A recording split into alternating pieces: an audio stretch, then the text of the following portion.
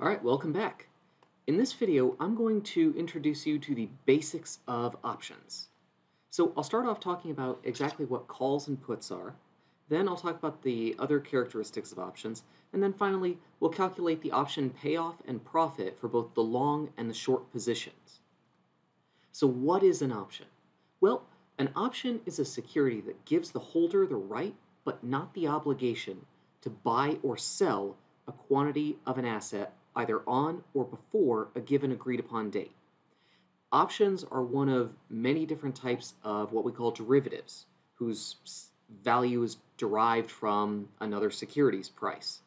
Uh, so we have, as derivatives, options, we have futures, we have swaps. All of these things are different types of derivatives. And derivatives, like options, are very, very powerful tools for hedging and speculation. All right, so what types of options exist? Well, there are two broad types of options. We have what are called call options, and we have what are put options.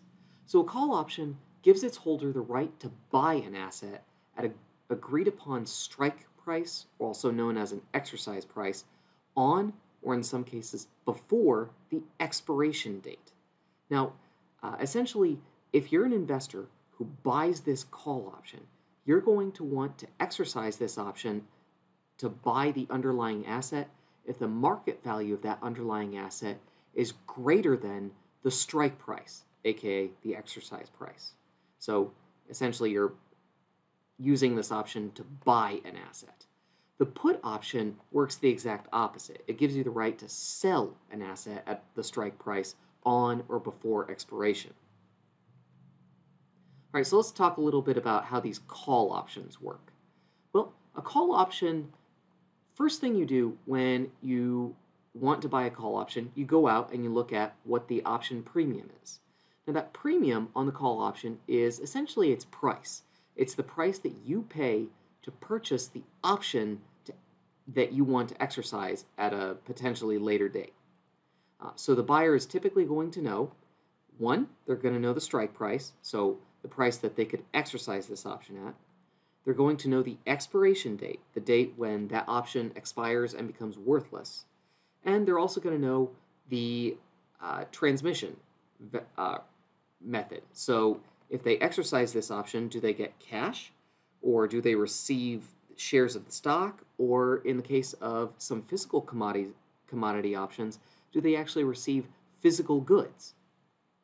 Now, if you own a call option, you've bought a call option, uh, aka you're the long holder, uh, you would never want to exercise that call option if the strike price is less than the current asset price. And one thing I should also say is that these, uh, both puts and calls, they do trade in the open market, many of them. Okay, so let's talk about the profit and the payoff of a call option. So our profit function is exactly what you see on the screen. It's essentially our underlying stock price, we're assuming this is a call option on some stock, uh, minus the strike price, we use the letter K, just like in baseball, and then we subtract the cost of the option. And usually the, the majority of the cost of the option is the premium itself. So S minus K minus premium. Uh, so that's that. All right, so let's take a look at the profit structure of a long call option. So in this example, I have a long call option that has a $5 premium or price and a strike price of $35. So this is the uh, exercise price. Now, if you took the long position on this call option, you're betting that the underlying asset, in this case a stock, is going to have a stock price above $35. Let's start off with the case where it doesn't, though. If the underlying stock price is $25, you would never want to exercise this call option because you're exercising it at $35, meaning you pay $35 for something that's currently worth $25. So essentially, what I'm trying to get at here is if the stock price is below the strike price, you don't exercise this call option. It'd be stupid to do it. Uh, so your pay, your profit here is really just the cost of the option. It's negative negative five dollars. Uh, now, this means that you are, as we say, out of the money here. At $35, you are at the money. If we go above $35, that's when the stock price is above the strike price, and we say that you are uh, in the money. And this is where we really want to be. This is why we purchase long call options because the underlying stock price could be above the actual strike price. Okay, so I just mentioned the term in the money and at the money. What are these terms? Well, these terms tell us whether or not this option is paying off. So when I say in the money with respect to a call option, it means that the underlying asset value is greater than the strike price. In other words, in the case of a, a stock, the stock price on the underlying asset is greater than the strike price. So you'd want to exercise. In the case of a put, it's the exact opposite.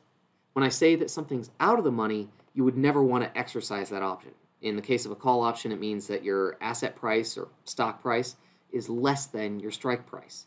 And for a put option, it's the exact opposite. And when I say at the money, well, that's the case where the, the strike price and the, the asset price are equal. So uh, in this case, it'd technically be right here. Okay, now there are two sides to any trade. We have the long position, which I just described, that's where you buy the call option. But you can also have the trader who created and sold the option. When they sell that option, they are the short position on that options contract. And this is their payoff structure. Uh, if they sell that option, they get the premium. So if the premium is $5 and they sell that to someone else, they get a $5 premium.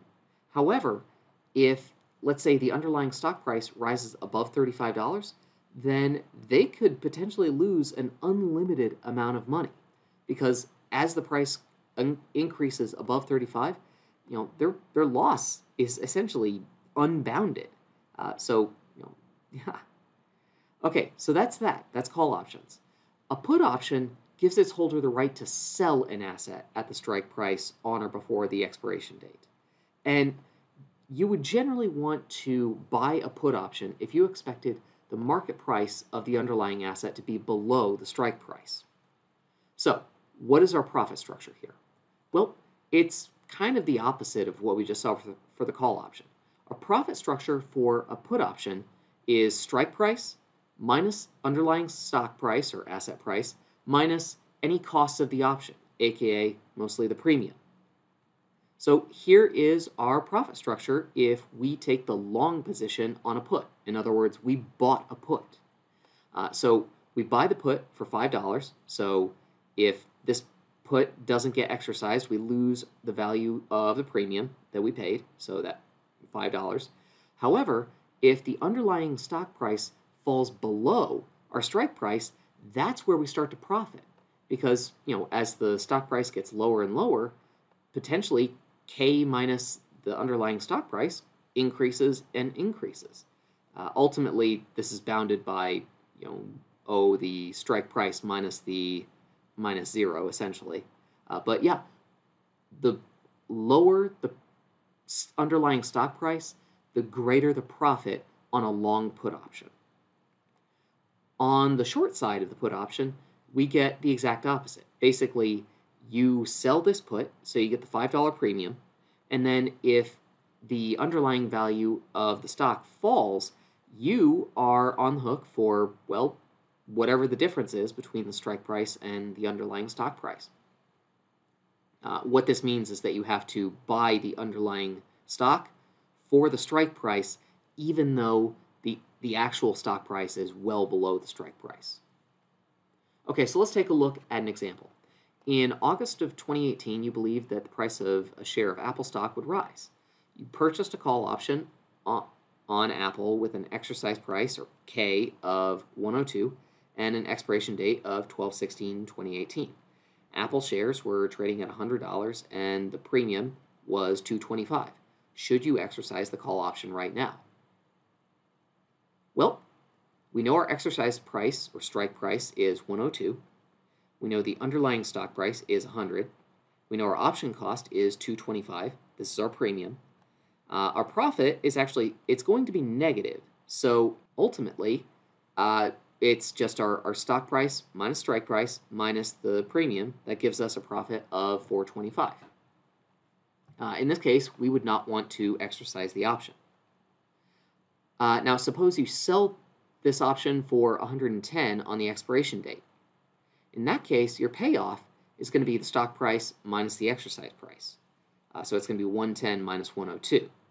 So in this case, your payoff is $8, and your profit is really just the uh, stock price minus the exercise price. It should be minus the premium. Uh, so that's the, this amount right here. And our call option profit should be 525. So uh, essentially what I'm trying to get at here is if the call option price or the underlying price of the stock rises, we are going to be in the money here. Okay, now let's take a look at another case. Let's assume that instead of buying a call option, you purchased a put option with an exercise price of 102. The put option cost 25 cents and the share price has fallen to $90. What are your payoff and profit? Well, in this case, your payoff is just the difference between the price, the exercise price, and the stock price. Your put option payoff is therefore 102 minus 90, uh, so $12. So in this case, uh, you, you would have a positive payoff. Your profit is just essentially your payoff minus the premium. So in this case, it's 102 minus 90 minus 25 cents. So our put option payoff per option is 1175. Uh, so you are in the money in this case because the underlying stock price is well below the strike price. Okay, so let's summarize. Call options and put options can be used to profit on changes in the price of the underlying asset. It doesn't necessarily have to be stocks, but usually those are the assets that are easiest to think of. We can have two positions for calls and puts. We can have the long position where you buy the call, and you can have the short position where you sell the call. Long calls benefit as the underlying price rises, and short calls benefit as the underlying price falls or stays below the strike price. Long puts benefit when the underlying price falls because you can sell your asset for the strike price instead of the lower stock price. Uh, ultimately, though, uh, long and short positions have the opposite profit structures. So with that, I'm going to conclude, and I'll see you on the next video. Thank you.